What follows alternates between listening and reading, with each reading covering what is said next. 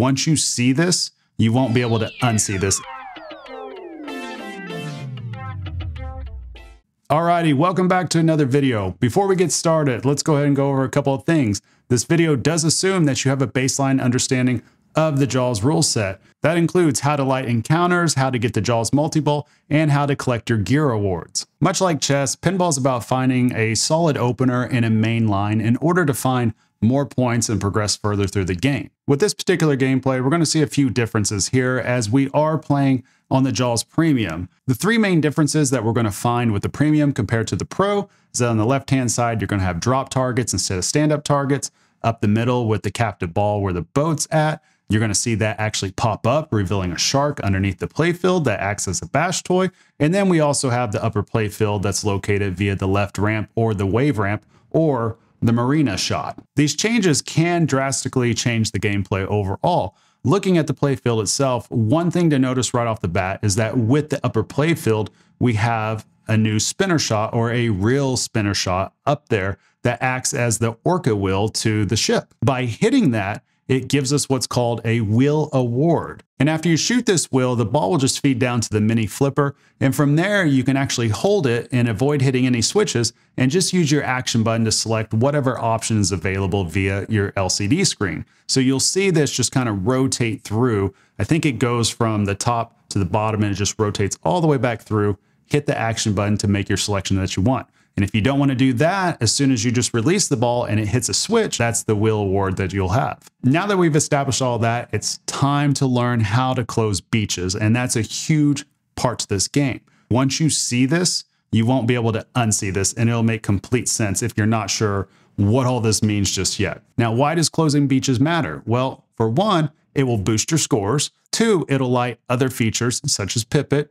And it also gives you potential to have an extra ball which means more points, or your game is a little bit longer, which, if your game's longer, that also equals more point opportunities or more progression through the game. Now, to properly explain this, I want you to look at the five major shots that are out there with the encounters as you have the left spinner, the left ramp, the center ramp, the reel spinner or the reel shot at the pond, and the right ramp.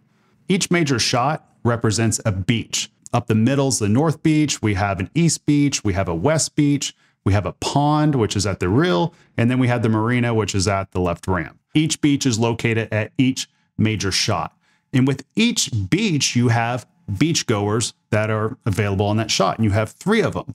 You also have three stand up targets that are out there, and these targets are known as the Shark Tower targets. So whenever you hit one of these Shark Tower targets, it ends up identifying a beachgoer on a corresponding shot. If we look at the far right, we'll see the Shark Tower target between the right ramp and the reel spinner. And whenever you hit that target, that will light one beachgoer at the right ramp and at the reel shot. If you hit that middle stand-up target, Shark Tower target, that will light a beachgoer at the center ramp. And then if you hit the far left Shark Tower target, that will light beachgoers at both the left spinner and the left ramp. As soon as you hit that Shark Tower target, beachgoers start flashing at your corresponding shot. You hit that shot, then that insert will go solid, indicating that you have added that beachgoer. And after you've added three beachgoers total, you will then start a 15 million point hurry up. So to piece this all together and wrap this up in a nice little bow, the basic sequence you're going through is Shark Tower target, flashing beachgoer, collect it beachgoer, collect all three beachgoers, then close the beach with the hurry up that's at 15 million. And here's where we truly need to understand the benefits of closing a beach. Now, each time you close a beach, you get a scoring boost at that shot.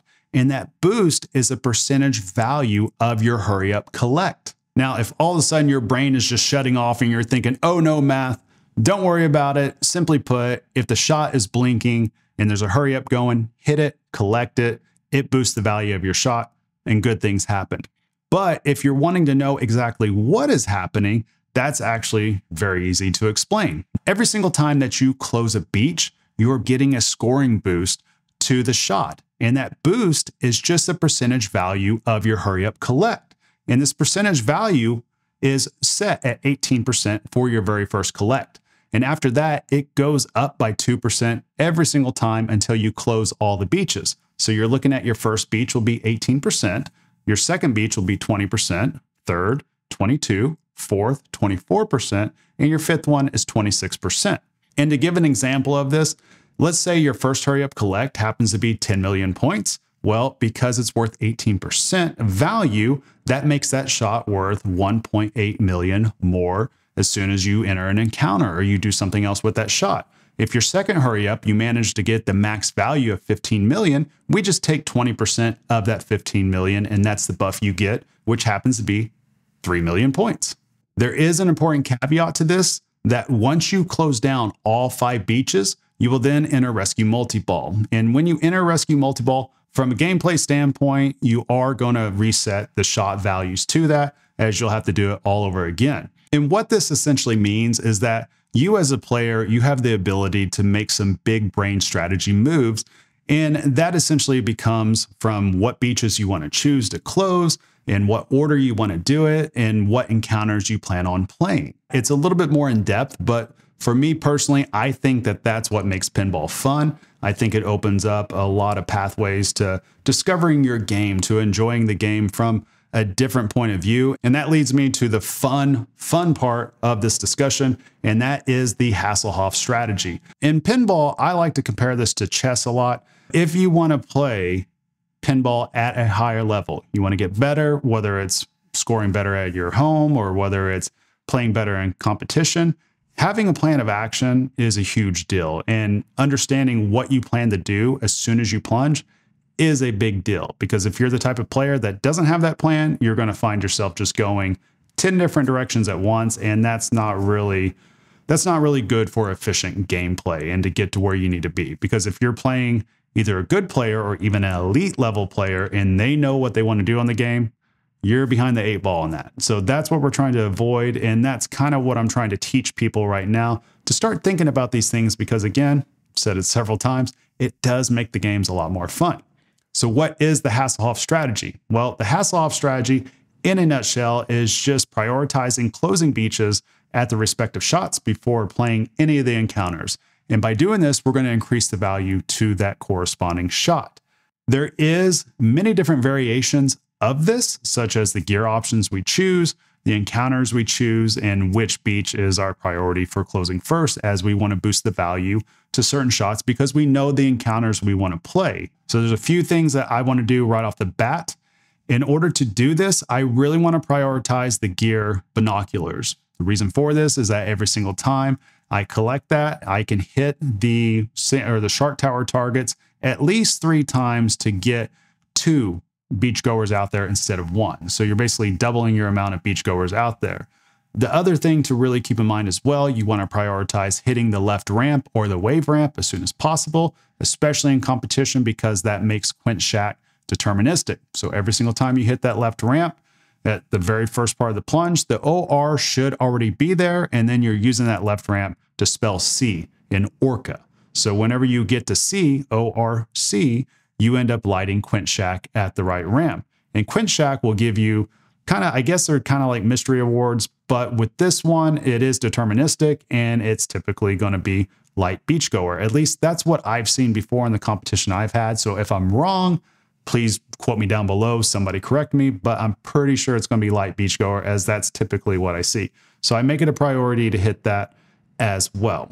The main line to this all is making sure you get your gear which you can do this via either the quick shot or if you're on a premium, your wheel award. One of your wheel awards is gear off the beginning, which is a big reason why you might even benefit more from just short plunging, getting a ball to your right flipper, and just going straight for that left ramp. Because then you get your C to light Quint Shack, you have an opportunity to hit that wheel, they end up spinning it, and then use your action button to select light gear. Because then as soon as you hit the right ramp, assuming you do have binoculars lit and you've you've done this correctly, you will then get your binoculars and your Quint Shack right there. So that's a two for one shot. And that is very important to understand how these different features mesh together because then you're not wasting any shots. You're being very efficient with your time, you're being very efficient with your choices and with your shot making. And that's super important if you want to be able to compete at a high level or if you just want to score more points overall. And again, have more fun. That's what we're talking about. That's what it's all about. Now, in terms of encounters, I don't worry too much about which beach is the close first, although I could take this a step level, a step further and try to focus more on closing like my center ramp and my right ramp as my third and fourth beach. However, I just take whatever the game gives me and I just go from there. My three main modes that I love to play, especially with the beaches closed, are Raft Attack on the right, Beach Panic, which is on the left ramp, and Night Swim, which is on the far left. Now, Beach Panic, a big reason why I love to play this mode, especially during beach closing, is because well, you can just ride the center ramp and the right ramp over and over and over again. And if you have your plus 15 seconds and you have your 2x boost from the encounters that we talked earlier, that equals a whole lot of points. And you should be able to get to over 200 million points just by doing that general strategy right there. Now, that does involve you making your shots, of course, and it does include how are the game setups and, and all that. But it generally is pretty sound strategy to get your shots boosted in areas in which you can do combos and the ball's returning back to the flipper in a safe manner. So keep all that in mind. And plus, you can't go wrong either doing a combo to the right side because if you do happen to find yourself in a spot to where you've collected a lot of gear or you've lit a lot of a lot of gear, you can then collect it at will on the right hand side. And then, of course, at some point, you're going to be in the end game of the strategy as you'll want to eventually just pull the ripcord pretty much to know when it's time to go ahead and close all five beaches and get into rescue multi-ball. Sometimes you may do this early on ball two. Oftentimes you'll find yourself doing this on ball three. If you happen to do this on ball one for whatever reason, well, you, my friend, have just pretty much gotten through the whole entire game at that point. That's generally the whole strategy right there. And if you guys have any questions on that, just let me know down below. I will be more than happy to answer it. If you have a better strategy, please let me know. I, am always open to hearing about it. But until then, let's go ahead and get to the video, and I'll see you guys after this cut. All right, first things first, you can always plunge for a skill shot. All right, and right here, I happen to hit that skill shot. And I'm okay with letting it go because I'm on a premium and here's exactly why. I have two options right now. I can either keep short plunging like you're seeing because I want to try to hit a quick shot, which will light my gear, or get a ball on a flipper, hit the wave ramp, and then you can collect your first wheel award. And what I like to do is light gear. So there's two things that just happen right there. It's very important. One, I spelled ORC on the left ramp because OR, the letters were already spotted. So now I got Quint Shack on the right and I lit my gear. So I made sure I got binoculars because binoculars are important and I got Quint Shack. So I lit a beachgoer and I have binoculars. The reason why binoculars are important is because pretty much that means that every shark target or shark tower I hit, it actually gives me two beachgoers instead of one. So very quickly, you just saw through all that talking, by hitting various shark tower targets and everything, I have all the beachgoers already out there. They're all out there already.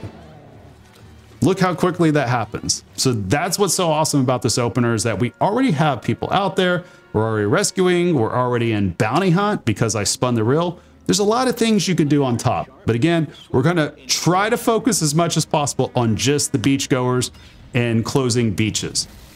So the biggest thing that you can get out of this too is I personally like focusing on center ramp, right ramp. Reason being, I can get get to where I need to be quicker. I can get eight beachgoers super quick, which is 15 million for an extra ball. Or if you have extra balls turned on, you get another extra ball, which is awesome. So we're on the shark spot at point. So I have two hurry ups going at one time right now. You see the center ramp, right ramp going. That's my hurry ups, 15 million countdown. But I have gotten some multi-ball progress right now, as a matter of fact, so that's why you see the ball just kind of hung up there on the left lane. But again, we're not worried about it. We are closing beaches. And right there, 3 million out of 15. I get a 3 million value. It's very important. That's like the best value you can get at this point, at least up front. So hopefully that's making sense so far. From here, I'm still trying to close different beaches, and that's what you're seeing with the orange insert going nuts or going fast. Another beach is closed. So instantly, three beaches closed right there. Now what I want to do is I want to try to get into multi-ball.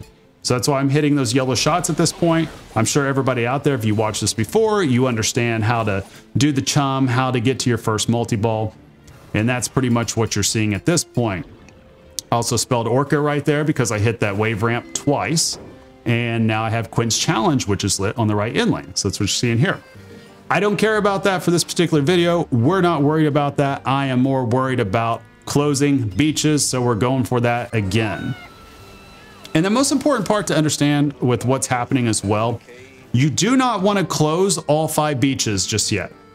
Because if you do that, you'll end up in rescue multi-ball and you'll lose your value after that. So you'd have to redo that all again.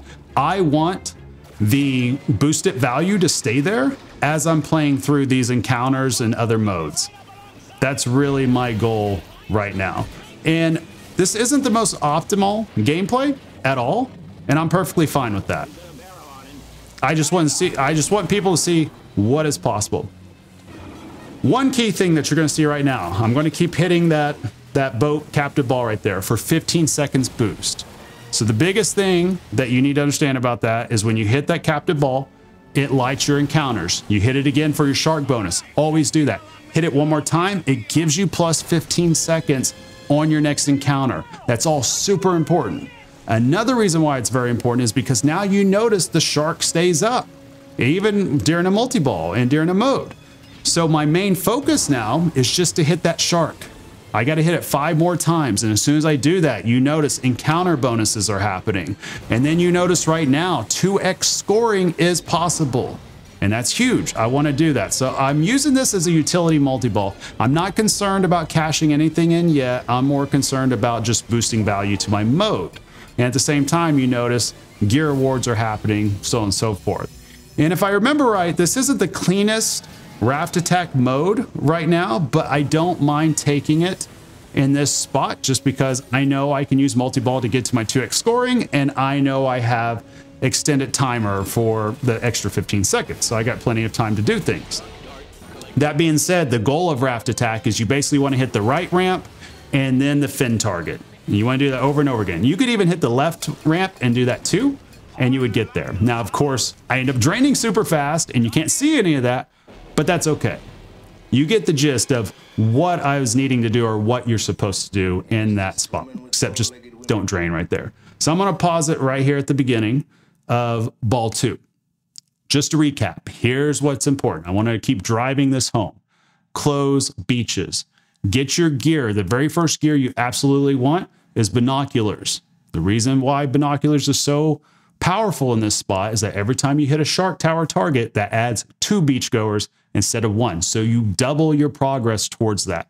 And that's very important because then you save your time doing hits, doing extra hits to a shark tower target. And on top of that, if you don't have binoculars with it, you end up kind of getting a little bit locked out because you start feeding frenzy, which is another feature or little mini mode tied to the shark tower targets. And when that starts, every time you hit a shark tower target, you end up getting some feeding frenzy points that you don't cash in until you get your bonus after the ball. The caveat to that is, is you cannot light beachgoers anymore while that's going. So you're basically playing, I can't remember the exact time, 30, 45 seconds, probably 30 seconds worth of time to, to basically just spam the targets as much as you can. By getting binoculars early on, you kind of avoid that and you avoid being in beachgoer or beach spotter gel, right? We want to find the beach beachgoer. So that's very important. Get binoculars early on. So to recap that, short plunge, hit your quick shot, or if you're on a premium, let the ball come down to the right flipper, hit the wave ramp, hit the wheel, and then use your action button as that's spinning around on the LCD. You'll see it or rotating through all the options. Use your action button to select light gear. That's one way you can do it. Now, you could do it a multitude of other ways. There's many ways to approach this game. This is just the pathway towards this that I found that's just the easiest to achieve as many beachgoers as possible if you're wanting to do this type of strategy. All right, so we're going to start ball two, and here we go. All right, there's the plunge out. And at the same time, we got Hammerhead Shark in the background. Again, not worried about that. We're basically still just showing beachgoers. And at this point, I'm wanting to light my encounter. Huge, huge thing right here. Every time you light an encounter, always get your shark hit. because that'll light your encounter boost. Then you want to do it one more time for your plus 15 seconds. And then you drain super quick, just like I did right there. But that's okay. That's okay. Concepts. We're going over concepts right now. So starting ball three right here, we got a level two skill shot and we're going to get it right there. That's just good for basically some points and lighting gear also. But during ball save, I'm going ahead and taking my shots at that captive ball. And of course, I'm not going to complete it. That's okay. Let's see what I opt for right here.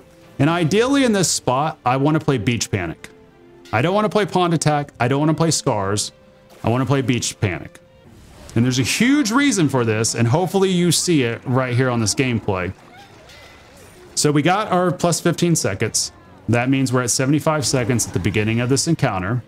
So my goal right now is to try to get my scoring up to 2x. That's priority right there.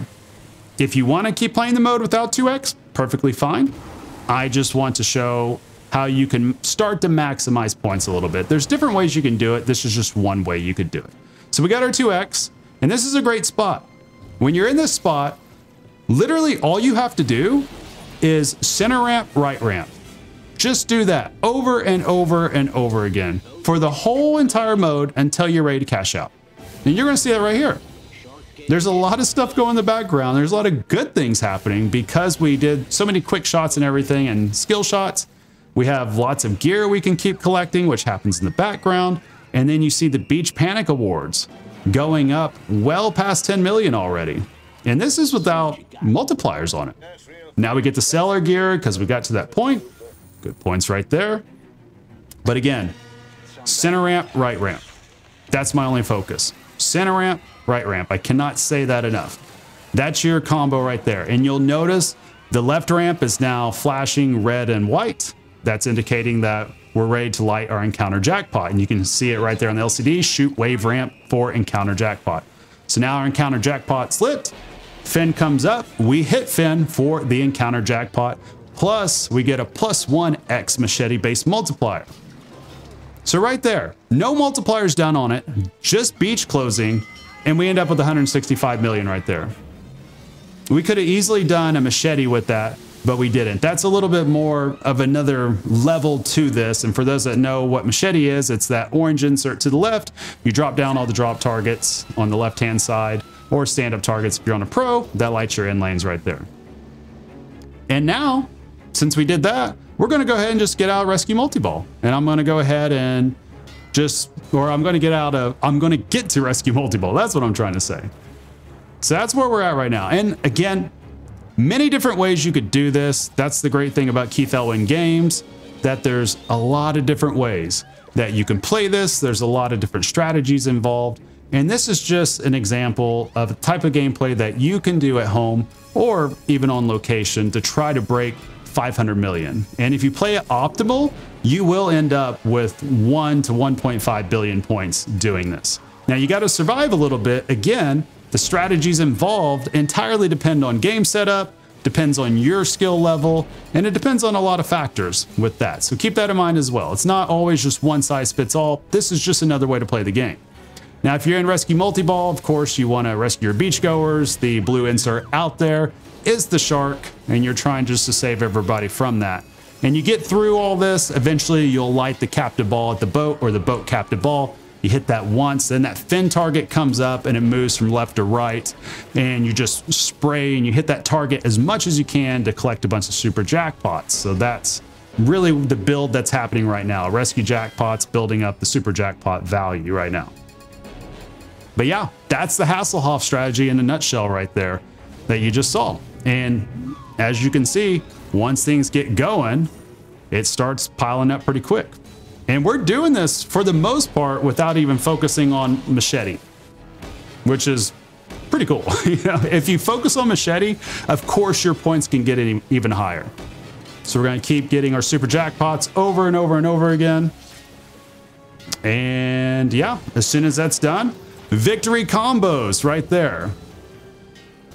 And that's the entire gist of this type of strategy right here. And I'm excited about this game because I've found several other different strategies that I will present in videos very, very soon, probably within the next couple of weeks as this one releases. And then, of course, we'll start to move on to some other content. But if you have another strategy that you like to use, what is it exactly? I'm curious. I want to learn just as much as just the next person. I'm always open to hearing the different strategies strategies that are out there and I'm sure there's a bunch of you out there that have figured out very very optimal ways to play this game. And that's the joy of pinball. It's a lot of fun to unlock this puzzle and to figure these things out because it just makes the game that much more enjoyable. All right, so we're out of that right now. There's our total 382, 150. I'm going to pause it right there. That being said, that is the Hasselhoff strategy. Again, just to go over it real quick, you want to get your gear, you want to get binoculars, you want to collect that as fast as possible because that makes your shark towers put out two beachgoers instead of one. And you basically just want to close beaches, but you don't want to close them all. I personally like to do the center ramp, right ramp for sure. If you do nothing else, at least do those two ramps because it'll help you a ton as you enter beach panic and modes like that, or even night swim, which you didn't see on this video, but you can have a pretty significant night swim as well. So those things mold or mesh pretty, pretty well together with that type of strategy. But if you have any questions or anything like that, or you have a strategy of your own, please share them down below and I will get to them as soon as I can. Thank you so much for watching. I'll see you guys on the next one.